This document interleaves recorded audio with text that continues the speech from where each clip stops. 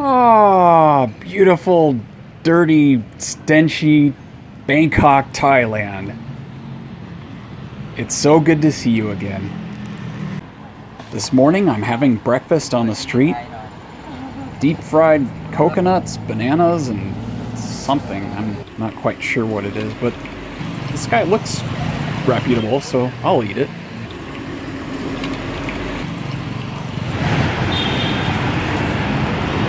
Okay. It's my first ride on the Sky Train.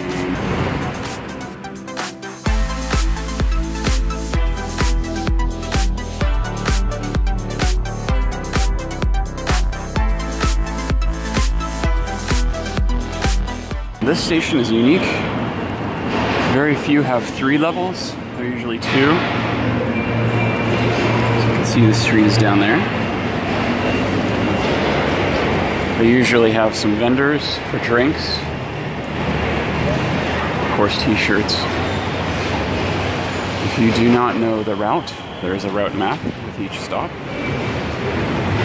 We are at Nana.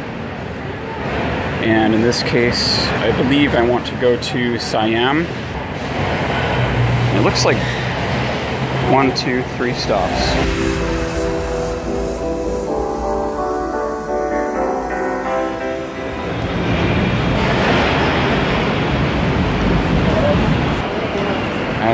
Day, one one day pass until good until midnight, unlimited rides all over BTS. It was 140 baht. After you scan your ticket and pass through this security area, it's up the escalator to your train.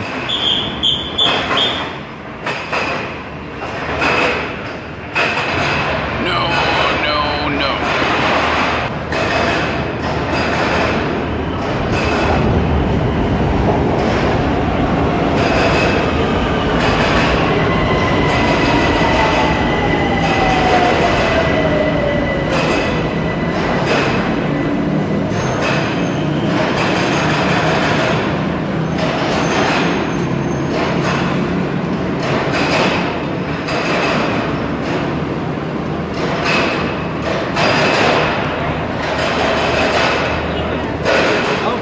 Let that be a lesson to you.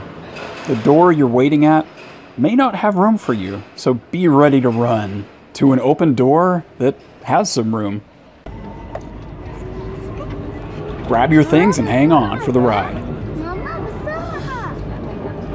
You get some beautiful views from up here.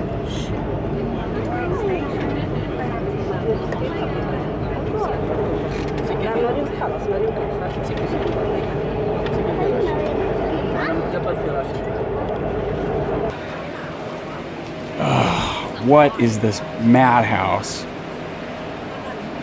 Disgusting, sweaty herds of people rubbing up against each other.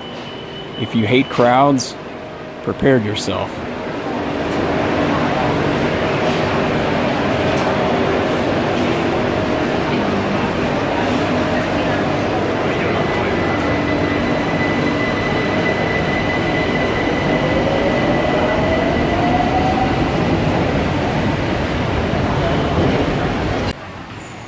Found some stairs to walk down, and uh, I'm out.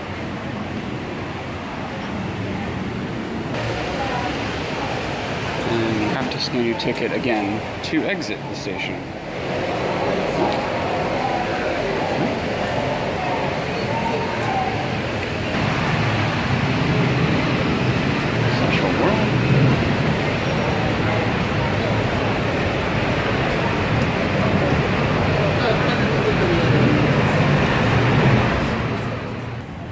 This intersection is incredible.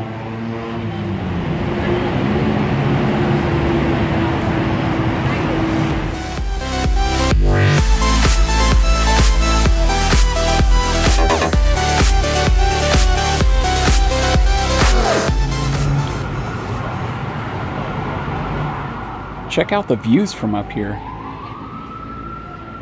And there it is, our next destination. MBK Plaza. One billion floors of shopping, and dining and entertainment and other various assorted activities. It's hallway after hallway after hallway of shopping. And video games. Expensive electronics. Anime shops. Pharmacies full of vitamin C. You're gonna need it because you're going to get sick. Massage! They even have a hotel inside this mall in case you shop till you drop. Live crabs. Live lobster.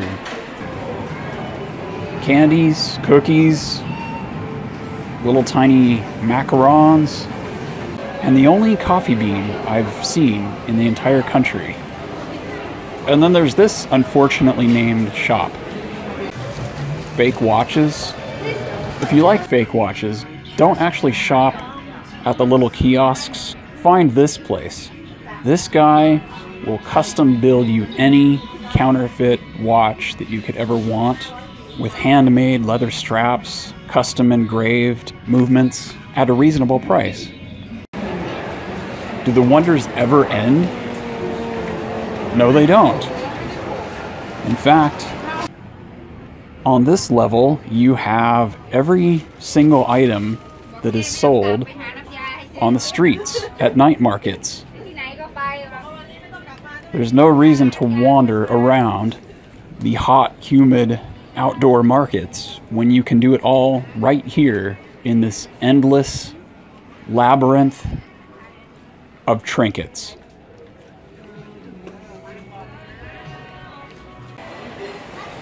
And if you get hungry, this is the dining level. As far as the eye can see. And here we have the technology floor. Endless technology as far as the eye can see.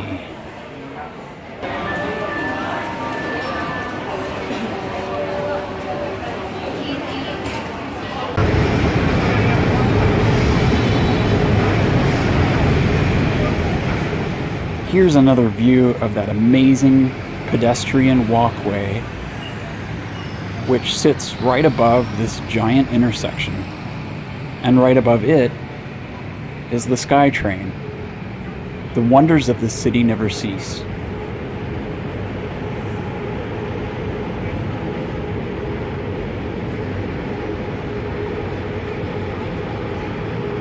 And here is our next destination, the Siam Discovery Mall. This place is another billion floors of endless shopping. Although the merch here is a little more high end than MBK. Check out these wind up wooden toys.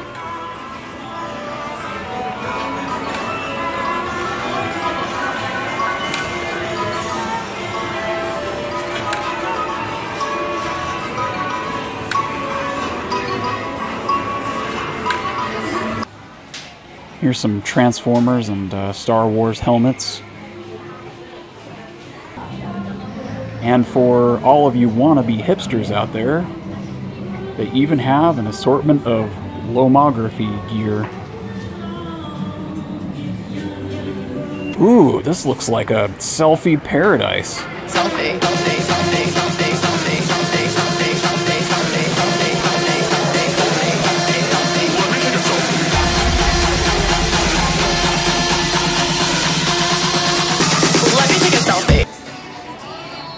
The interior of this mall has a very upscale. What? What the? Sizzler. I guess Sizzler is upscale in Asia. Anyway, this mall has a very upscale feel to it, even with a Sizzler. Check out those neon animated statues down there. And then, up on the roof, is this huge animated LED display. Here's a random French bistro just hanging out in one of the hallways.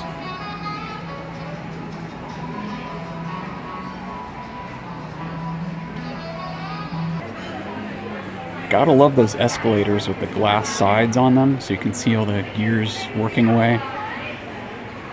And that over there looks like a food court. This was a neat restaurant with an unfortunate name. Orphanage? I mean, come on. But the interior was cool. Lots of gears and trains running everywhere. A good stop for you foamers out there. Anyway, heading back outside, we get a cool view of the triple decker SkyTrain station, along with a very festive outdoor Chang beer garden. And there's our next destination, the Siam Paragon. More than you can afford, pal. It is the most upscale mall out of the three that we've been to. Once you pass through security, you see this beautiful display.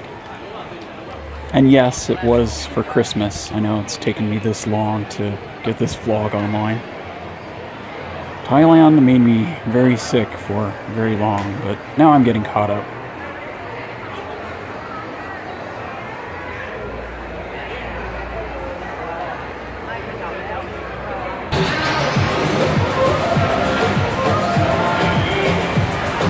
It's not every day that you see a giant Cartier box that you can walk into. More than you can afford, pal. And if Cartier is not your thing, there's Louis Vuitton over here, More than you can afford, pal. or Panerai, perhaps uh, Franck Muller, Bulgari, IWC, Omega. More than you can afford, pal. There's even a whole watch Galleria section. More than you can afford, pal. Check out this pen. It's a limited edition ST DuPont Dragon pen. That's over 15,000 US dollars. More than you can afford, pal. And if you don't feel poor enough yet, you're just surrounded by this overwhelming sea of overpriced jewelry and cosmetics. It's it's everywhere. Luckily, there's a food hall with something that you and I can afford.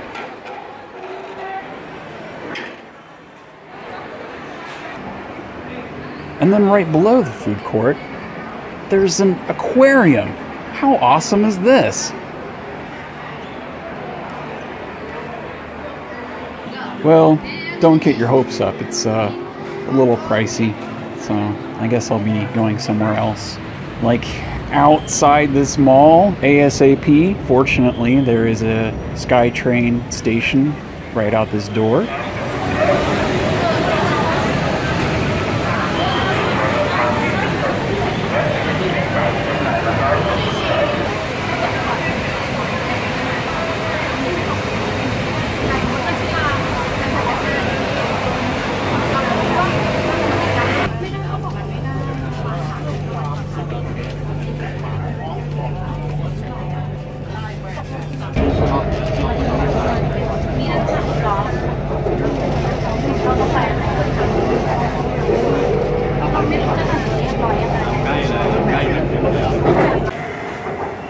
There goes our train on its way to its next destination.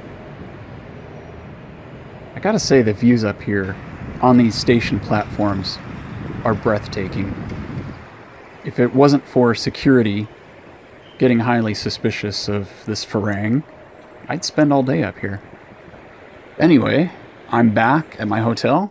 I'm about to eat dinner at their street front cafe while I get serenaded by this guy.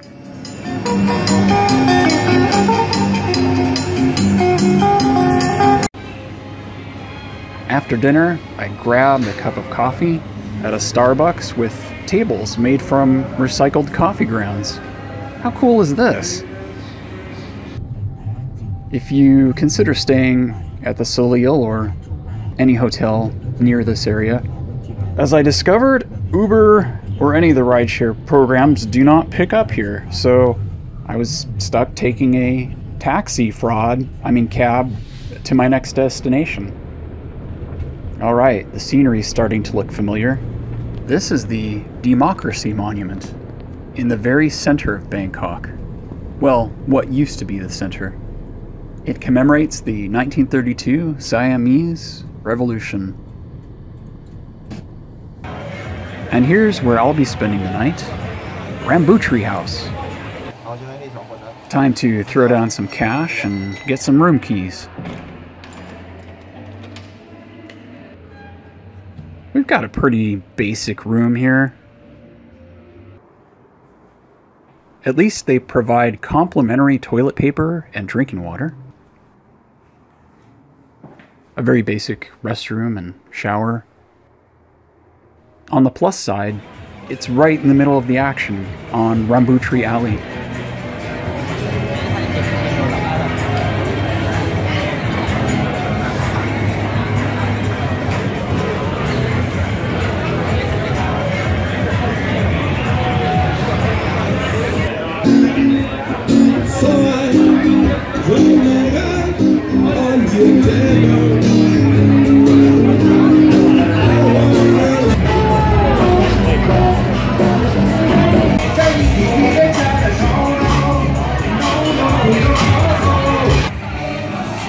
Look at the size of that guy's straw.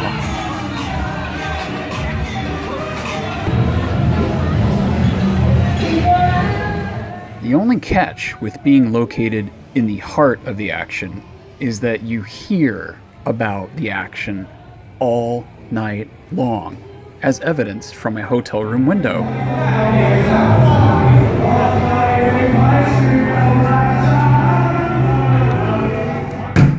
Sounds like the Vlognosis will not be getting any sleep tonight. Anyway, thanks for watching. Subscribe so you don't miss a future episode. And until then, I will be here, awake,